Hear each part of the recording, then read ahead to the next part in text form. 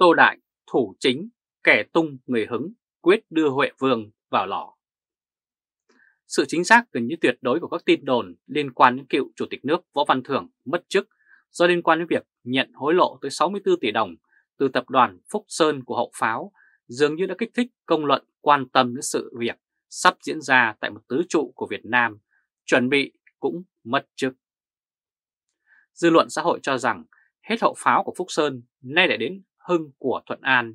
nhưng cái sân sau của Nguyễn Duy Hưng tập đoàn Thuận An lớn nhanh như phù đồng có vẻ còn đỉnh đám và uy lực hơn vụ Võ Văn Thưởng mất chức.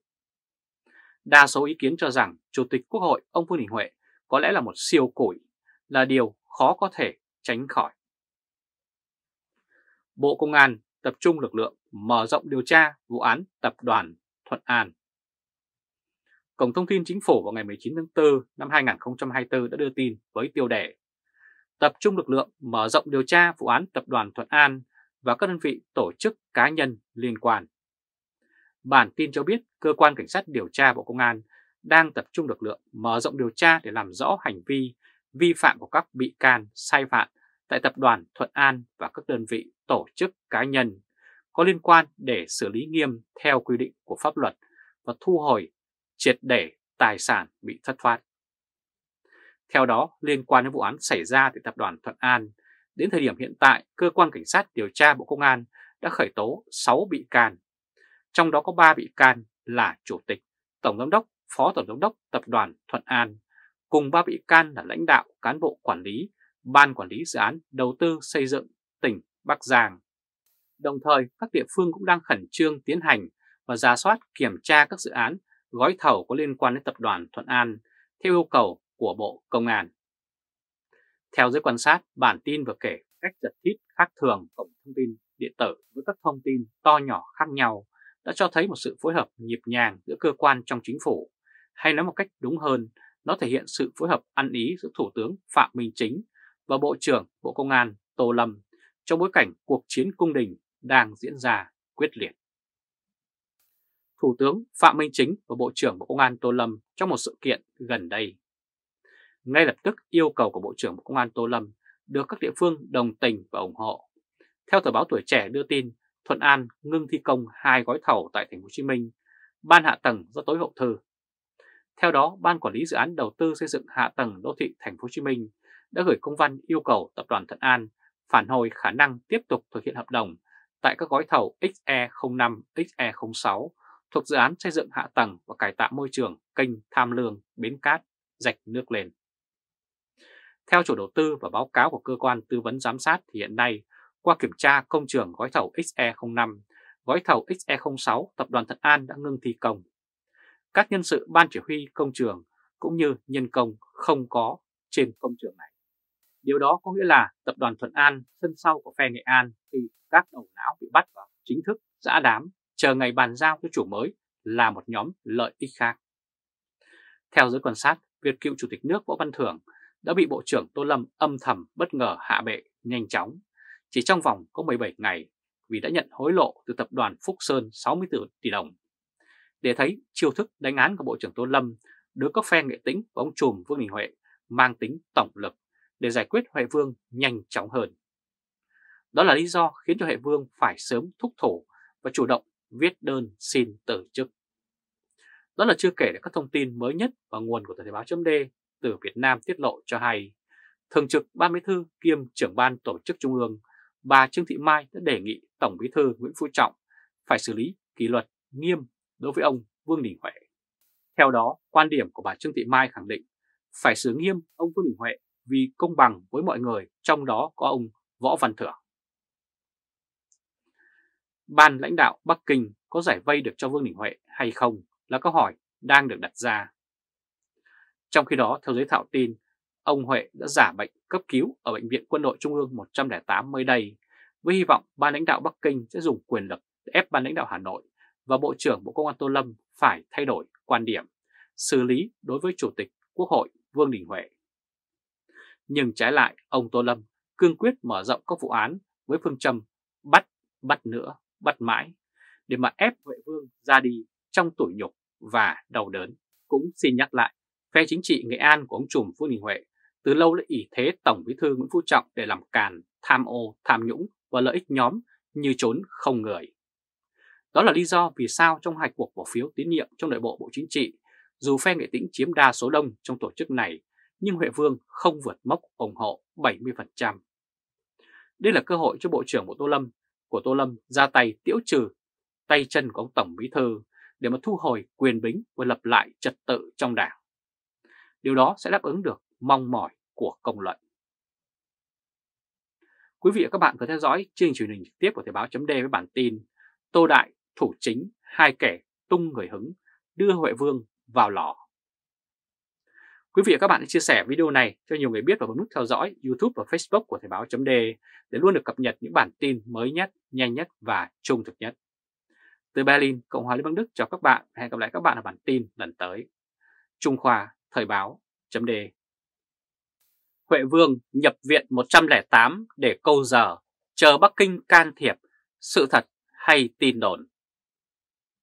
Vụ C03 của Bộ Công an khởi tố bắt giam ông Nguyễn Duy Hưng, Chủ tịch Tập đoàn Thuận An có khả năng tương tự như vụ tập đoàn Phúc Sơn của Hậu Pháo, với sự ra đi của Chủ tịch nước Võ Văn Thưởng. Trong những ngày này trên mạng xã hội rộ tin Chủ tịch Quốc hội Vương Đình Huệ sắp ngã ngựa. Vào ngày 17 tháng 4, nhiều nguồn tin khả tín khẳng định hôm nay anh Huệ đã đến làm việc với Ủy ban Kiểm tra Trung ương của Trần Cẩm Tú và suýt ngất vì chứng cứ quá đầy đủ. Và anh Huệ vừa mới viết đơn từ chức xong. Mọi việc diễn biến theo đúng kịch bản của ông Võ Văn Thưởng. Chủ tịch Trung Quốc Tập Cận Bình có cứu được Vương Đình Huệ hay không đang là câu hỏi đặt ra mà dư luận quan tâm. Trước đó có những đồn đoán cho rằng sau Nguyễn Duy Hưng đến được Phạm Thái Hà, trợ lý Chủ tịch Quốc hội Vương Đình Huệ sẽ lên thớt. Ông Phạm Thái Hà liên quan đến việc nhận hối lộ tới 2.000 tỷ đồng cho các dự án tuyến cao tốc và làm công trình ven biển phải thông qua Quốc hội. Mới nhất, nguồn tin của Thời báo chấm từ Hà Nội cho biết đêm ngày 17 tháng 4, ông Vương Đình Huệ đã được đưa vào Bệnh viện Quân đội Trung ương 108 vì lý do sức khỏe và được các bác sĩ Trung Quốc túc trực chăm sóc. Nguồn tin cũng cho biết thêm có khả năng ông Huệ muốn câu giờ để chờ Bắc Kinh can thiệp theo kênh của Đảng. Tờ Thời báo chấm không điều kiện để kiểm chứng tin này. Chưa bao giờ ở Việt Nam, tình trạng người dân tin vào tin đồn nhiều hơn tin của báo chí, nhà nước lại cao như hiện nay. Vì đến bây giờ, ai cũng biết phần lớn tin đồn là sự thật do các thế lực thù địch trong nội bộ của Đảng chủ động tuồn ra bên ngoài để triệt hạ đối thủ hoặc thăm dò phản ứng của dư luận. Nguồn cơn của cuộc chiến nội bộ trên thượng tầng cung đình chính trị của Đảng Cộng sản Việt Nam hiện nay là vì câu hỏi, ai thay thế ông Phú Trọng trên cương vị Tổng Bí Thư. Chưa có câu trả lời cho đến hôm nay, nhưng Vương Đình Huệ là cái tên được đích thân ông Tổng dày công vun đắp Ông Trọng là người giới thiệu quy hoạch chức danh Tổng Bí Thư cho Vương Đình Huệ khi đưa ông Huệ từ vị trí thủ Phó Thủ tướng Chính phủ sang làm Bí Thư Thành ủy Hà Nội thay cho ông Hoàng Trung Hải bị kỷ luật.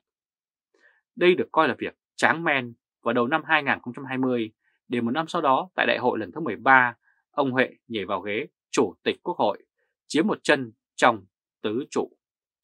Công luận cho rằng trong tứ trụ khóa 13 ông nào cũng có tỉ vết Hai ông Nguyễn Xuân Phúc và Võ Văn Thưởng đều đã bị bay chiếc ghế chủ tịch nước đã cho thấy rất rõ điều đó. Bộ trưởng Bộ Công an, ông Đại tướng Tô Lâm. Ngoài tham nhũng, nhận hối lộ và lợi ích nhóm, ông Huệ còn bị cáo buộc say mê ca hát và các thứ khác. Đó là sự thiếu chuẩn mực của một chính khách hàng đầu. Vào năm 2019, Phó Thủ tướng Vương Đình Huệ vướng tin tức có tình ái với ca sĩ Hương Tràm. Mạng xã hội đồn rằng Hương Tràm đã mang thai và sang Mỹ sinh con cho Huệ Vương, mấy năm liền không về Việt Nam. Theo giới phân tích, hiện nay tứ trụ của Đảng mất 2 còn 2, vì thế hai ứng viên sáng giá nhất cho chiếc ghế Tổng Bí Thư là Vương Đình Huệ và Tô Lâm. Bộ trưởng Tô Lâm chơi, chơi chiêu tiên thủ hạ vi cường, tức là ra tay trước thì việc ông Huệ không bị bay ghế mới là chuyện lạ. Công cuộc chống tham nhũng ở Việt Nam dưới sự chỉ huy của ông Tổng Bí thư Nguyễn Phú Trọng đã biến tướng trở thành mục tiêu loại bỏ mầm mống đối trọng chính trị trong nội bộ của Đảng. Thậm chí Tổng Trọng còn coi đó là mục tiêu hàng đầu trong việc trừng phạt những lãnh đạo có biểu hiện không phục tùng, bất tuân ý chỉ của ông như Đinh La Thăng hay Nguyễn Xuân Phúc là những ví dụ. Ngược lại đối với các đồng chí cùng phe cánh, đồng thời là bệ đỡ cho Tổng Trọng như phe Nghệ Tĩnh và Vương Đình Huệ, thì ông Trọng lại ban cho đặc quyền dẫu rằng ông vẫn luôn khẳng định chống tham nhũng không có vùng cấm. Những yếu tố chính này đã góp phần tạo ra tình trạng khó khăn trên nhiều lĩnh vực kinh tế, chính trị, xã hội ở Việt Nam hiện nay, có nhiều nguyên nhân từ đó mà ra. Trong đó, sự cai trị kéo dài đến hơn 12 năm cầm quyền của Tổng Trọng là một nguyên nhân chính, mặc dù ông đã ngồi có ba nhiệm kỳ Tổng Bí Thư, hoàn toàn trái với điều lệ của Đảng Cộng sản Việt Nam của chính các ông dựng ra. Ông Tổng Bí Thư Nguyễn Phú Trọng và Vương Đình Huệ trong quãng thời gian đó, ông Trọng đã liên tục xây dựng vây cánh để tập trung quyền lực cao nhất cho ông trong đảng. Đó chính là lý do khiến ông dứt khoát không rời khỏi ghế. Đó cũng là lý do vì sao công cuộc chống tham nhũng của Tổng Trọng lại càng chống thì tham nhũng càng tăng, mạnh hơn, lớn hơn và tinh vi hơn. Khởi tố bắt giam mãi không hết quan tham. Bắt đến gần hết lãnh đạo các cấp nhưng các đồng chí chưa bị lộ vẫn không sợ. Với thảm trạng này thì công tác nhân sự chắc chắn là một phần của câu trả lời. Theo giới thảo tin, vào cuối năm 2022, các ông Nguyễn Xuân Phúc chưa bị phế chuất trong hai lần lấy phiếu tín nhiệm thăm dò tại Bộ Chính trị, ông Huệ đều không đạt 70% số phiếu theo yêu cầu. Vì thế việc Vương Đình Huệ mất chức cũng chẳng có gì lạ. Quý vị và các bạn vừa theo dõi chương trình truyền hình trực tiếp của Thời báo chấm với bản tin Huệ Vương nhập viện 108 để câu giờ chờ Bắc Kinh can thiệp, sự thật hay tin đồn. Quý vị và các bạn hãy chia sẻ video này cho nhiều người biết và bấm nút theo dõi YouTube và Facebook của Thời báo .de để luôn được cập nhật những bản tin mới nhất, nhanh nhất và trung thực nhất.